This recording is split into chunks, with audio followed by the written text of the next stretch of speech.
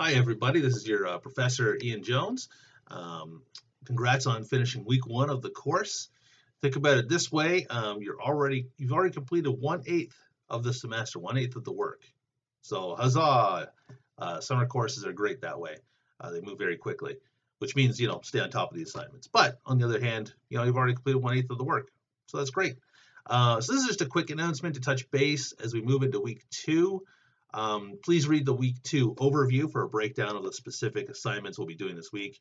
We're getting into, uh, you know, more, you know, heavier reading and stuff. So um, please do get on top of those assignments early and, you know, pick away at them throughout the week.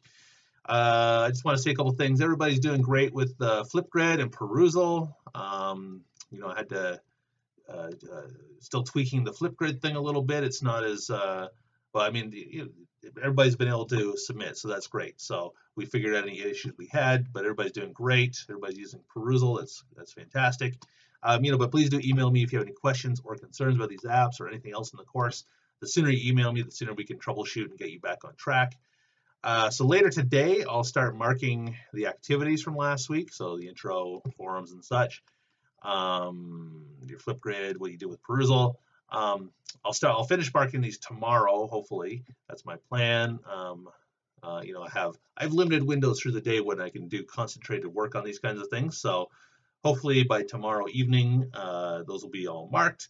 And then on Wednesday, I'll post another update, another like uh, you know uh, video slash uh, transcript with some notes, just about uh, you know any group feedback I have to offer. And this is the pattern I try to follow every week. You turn everything in by Sunday at midnight. Then on Monday and Tuesday, I mark stuff. And then on Wednesday, I offer group feedback, uh, update for the course, that kind of thing. So that's the kind of communication pattern I try to follow in terms of marking and uh, giving feedback. Of course, that will change when we get into you know longer uh, projects, but the the smaller week to week stuff, that's how I try to um, structure that so you know that you're getting that that feedback every Monday, Tuesday, and maybe into Wednesday. Uh, so that's about it for now. Please do email me with any questions or concerns. Um, and otherwise, have a great week. Bye-bye.